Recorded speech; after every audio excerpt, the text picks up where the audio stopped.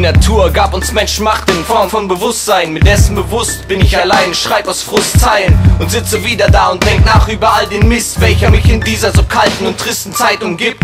Warum bin eigentlich ich, der den das Leid zerfrisst, weil er sich den Kopf zerbricht und nie zufrieden ist? Ich weiß es nicht. Doch was ich weiß, ist, dass so einiges auf dieser Welt aus dem Gleichgewicht geriet, Streit und Zwist. Logik des Menschen und Logik des Lebens. Ersteres ist der Versuch, dem Leben Logik zu geben. Doch jene Logik des Lebens beschreibt das Gegenteil dessen als Widersacher des Glaubens. Man könnte das Leben berechnen, Wegbegleiter all jener, die sich dem widersetzen, wissen das Leben zu schätzen und versuchen sich zu retten zu befreien von all den ewigen Fesseln oder Pflücken im Käfig zu treffen, um so endlich auszubrechen. Damit meine ich die Menschen, die nicht ihre Zeit verschwenden, indem sie sich darauf beschränken, bereits Gedachtes zu denken. Davon gibt es nur wenig und höchstens 5 Prozenten, die schaffen könnten zu ändern, dass wir an Sünde verenden. Doch das bleibt wohl utopisch und nicht zu realisieren. Denn erst im Angesicht des Todes werden es all jene kapieren, die ihr Leben vergeudet haben, nur dem System zu parieren. Es gibt nicht nur einen Weg, man kann tausend Wege passieren. Doch wir wurden dazu erzogen, niemals etwas zu riskieren, nur einen Weg zu akzeptieren aufgrund der Angst zu verlieren. Doch diese Angst ist der Grund dafür, dass Dinge passieren,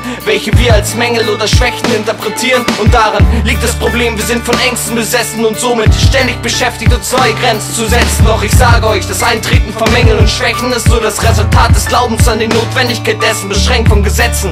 Haben wir das Denken vergessen und die Erfüllung unseres Geistes von unendlichen Kräften. Doch statt Entdeckung dieser Schätze und Erkennung des Besten, um all die Kräfte zu wecken, herrscht nur Verdrängung des Echten. Was ist schon echt in einer Welt, in der man gar gar nichts mehr glaubt. Alles nur akzeptiert und auch die Wahrheit nur kauft. Was ist schon echt in dieser Welt, wenn man sich selbst nicht mehr sieht? Weil man aus Angst die Augen vor der Schönheit verschließt. Was ist schon schön? Wenn man die Liebe vermisst, weil man vergisst, dass sie das Gegenteil all dieser Ängste ist. Was daran liegt, dass alles, was hier existiert, sich ausschließlich durch sein Gegenteil definiert. Wir haben Angst nur erfunden, um Liebe beim Namen zu nennen. Und er schuf uns den Teufel nur, um Gott zu erkennen. Wir haben uns dazu entschlossen, uns im Schatten zu sonnen und durchleben die Hölle, um in Himmel zu kommen.